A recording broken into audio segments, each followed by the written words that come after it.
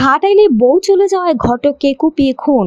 BD star TV news তথ্য video চিত্রে রয়েছেন ঘাটাইল টাঙ্গার প্রতিনিধি Mohammad Helal Talukdar. BD Star TV, বাংলার এক উজ্জ্বল নক্ষত্র।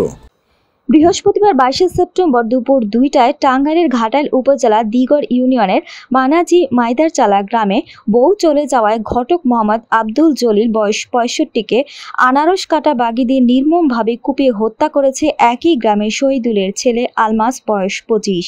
সে ঘটনাস্থল থেকে পলাতক রয়েছে। নিহতের ভাগ্নে আব্দুল বাসেদ ও স্থানীয়রা জানান মাইদারচালা গ্রামের শহীদুলের ছেলে আলমাস স্থানীয় একটি করাত কলে কাজ করেন। এর আগেও তিনটি বিয়ে করেন, তাতেও বেশি দিন স্থায়ী হয়নি। পরে মোহাম্মদ আব্দুল জলিল মধ্যস্থতা করে ঘটকালিতে দু উনিশ সালে রসুলপুর ইউনিয়নের পেঁচার আটা গ্রামের আলমাসকে বিয়ে করিয়ে আনে। সে ঘরে একটি কন্যা সন্তান আছে। সেটাও দু হাজার একুশ সালে ছাড়াছাড়ি হয়ে যায়। এ নিয়ে আলমাসের ভেতরে চাপা ক্ষোভ বিরাজ করছে। বৃহস্পতিবার বাইশে সেপ্টেম্বর দুপুরে নামাজ শেষ করে আব্দুল জলিল আলমাসের দাদি আয়তন বেগমের ঘরে পান খেতে বসলে আগে থেকে ওত পেতে থাকা আলমাস ঘরে ঢুকে বউ এনে দেওয়ার কথা বলে ধারালো বাগি দিয়ে এলো পাথারি মাথায় ও গলায় কোপ দিলে ঘটনাস্থলে তার মৃত্যু হয়। নিহতের মাথা এবং গলায় আঘাতের চিহ্ন আছে। এ বিষয়ে ঘাটাল থানার officer in-charge OC Mohammad Azharul Islam Sarkar PPM মুঠোফোনে জানান, অভিযোগ প্রাপ্তি সাপেক্ষে মামলা নেওয়া হবে, তবে পলাতক আসামিকে গ্রেফতারের চেষ্টা চলছে।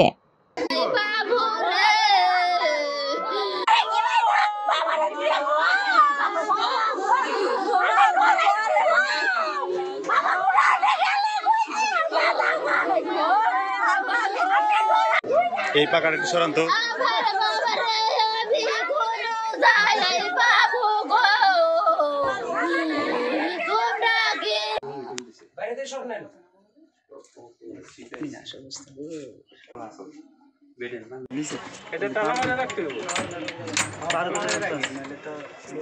ছেলে আলমাস তা আমি এখানে আইসা যতটুকু শুনতে পেলাম, জানতে পেলাম, যে যা জনগণ বলতেছে যেটা, সেটা হলো যে ওই ছেলেকে, ওই আলমাসকে জলিল সাহেব একটা বিয়ে করে দিয়েছিলেন, বিয়ের ঘটকালি করেছিলেন ওনার।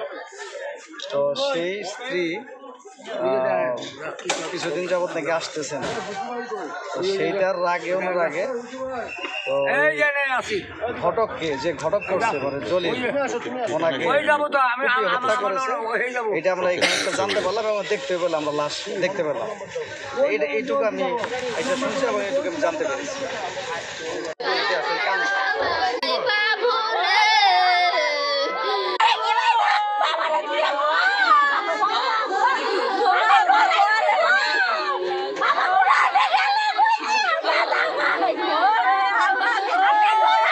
এই পাকাটা একটু সরান তো